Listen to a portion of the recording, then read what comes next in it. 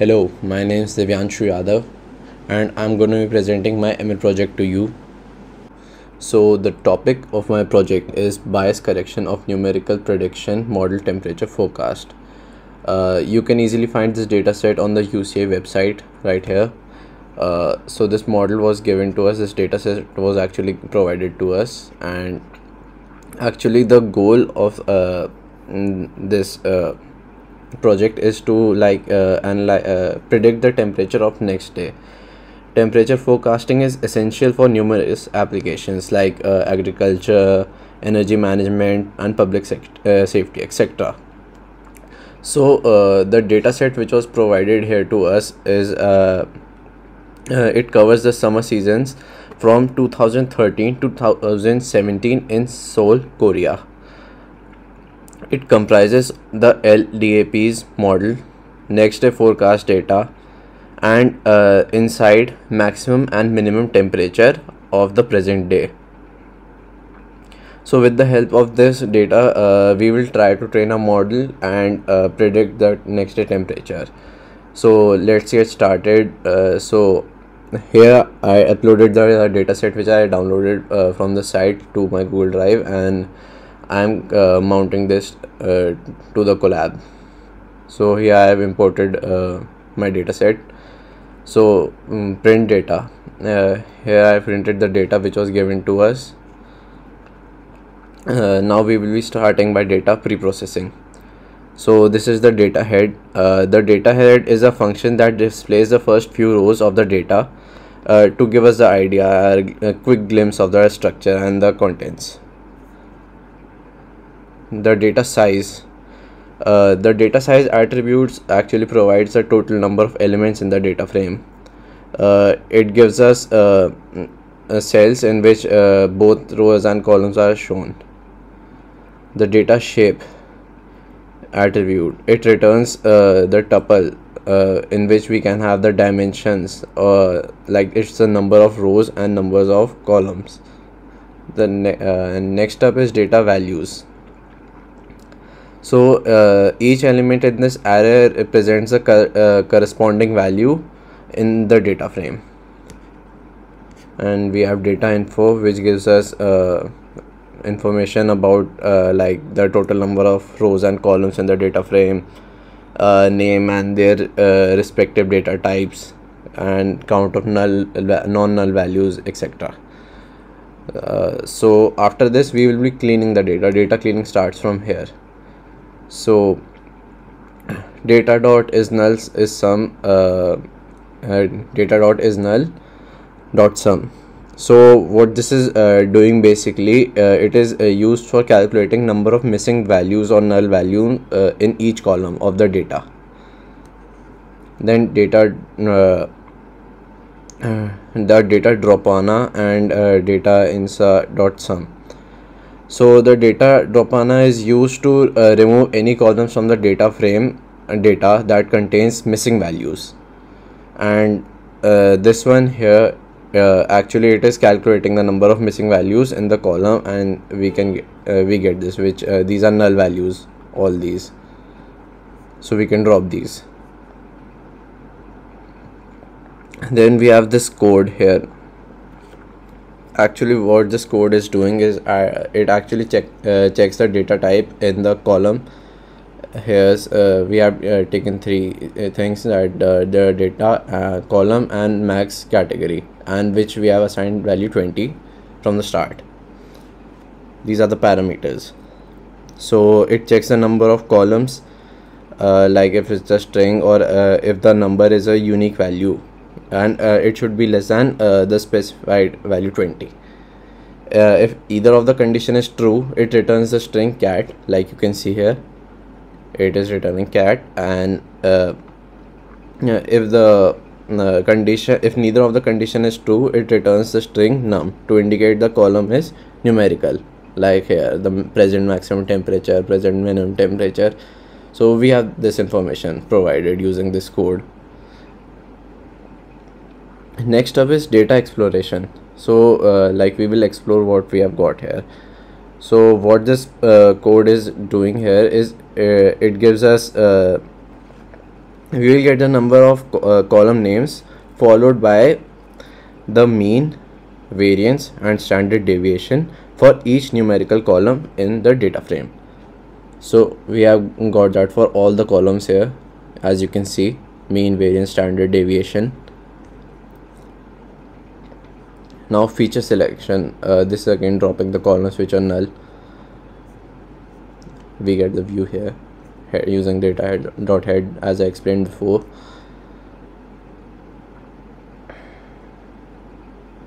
So after this we will uh, get to data dot drop. So uh, in this the data frame stored in variable uh, uh, in the variable data so by calling this we can get the glimpse of the uh, data and quickly inspect its structure and components etc data splitting starts from here. We will be performing uh, data split, uh, splitting from this point.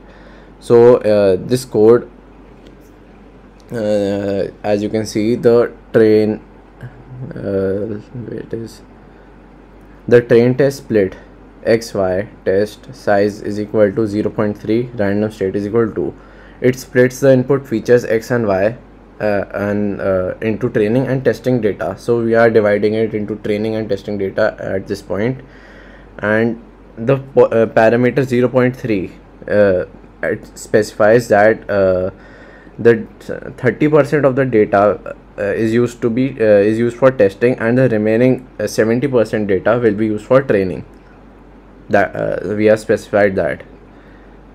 And the random uh, state 2 which is here uh, is given here. It is used to ensure reproductivity.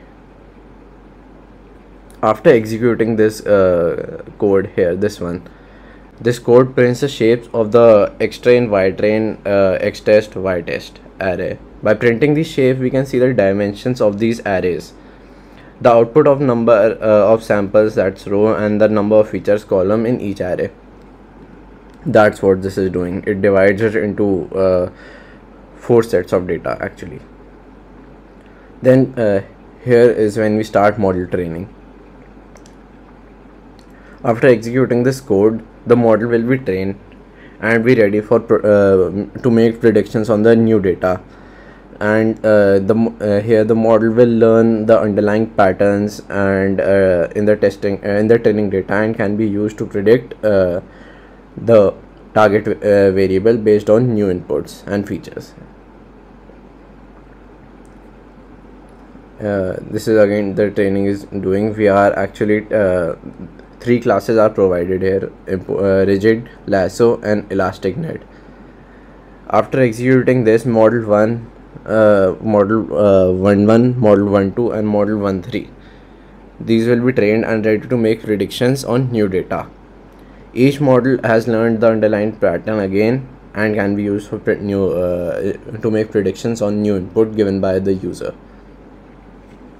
Here we will start the evaluation of a model at this point. So the model score function actually calculates the accuracy of the trained model on the uh, of the uh, on the testing model.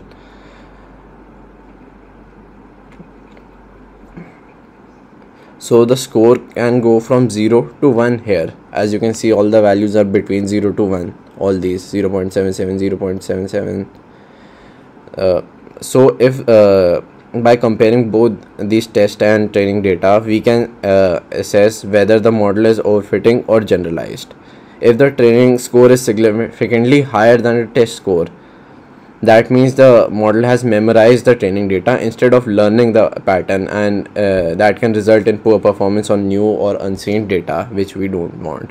So you can see the values here mm, uh, the train and test model 0.77 to 0.77 so they are uh, like same almost same. So which is good. And model intercept here this one.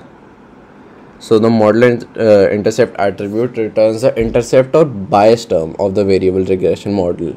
It represents the value of the target variable when all the input features are zero the intercept is a uh, like a constant term in regression equation and determines the vertical position of the regression line.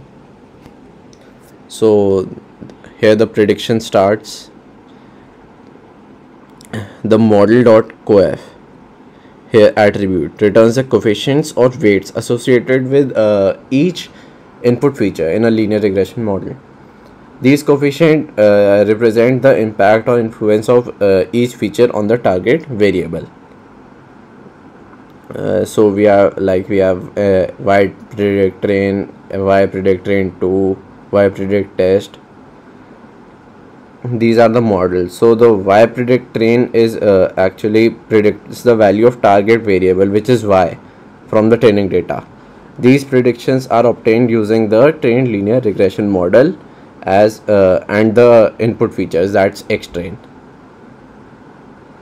So we have the visualization here. We will make the scatter plot uh, to see the uh, relationship between the actual target values and predicted target values obtained by linear regression model as you can see here.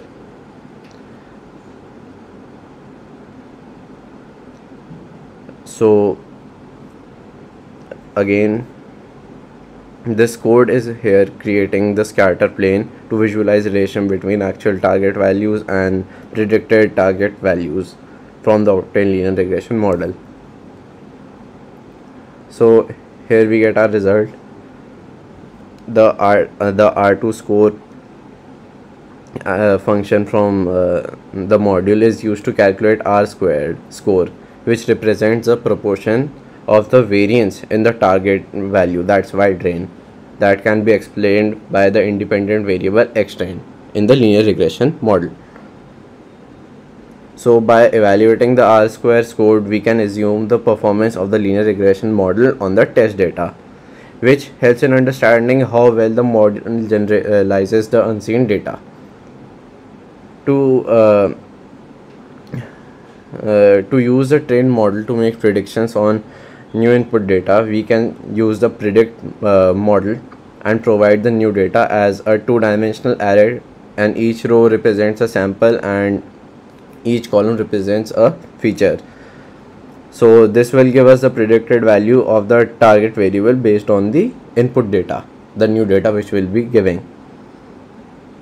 Uh, so that's uh, like pretty much it and i have made a website for it. You can use it. So uh, like this is a website where you can enter your data however you like. So six values can be input here which we will be entering the forecast and to uh, click on perform bias correction. And so we get here the final bias corrected forecast data is displayed using the st.write function. The output is shown as uh, like bias corrected forecast data which is followed by corrected data so that's pretty much it. Thank you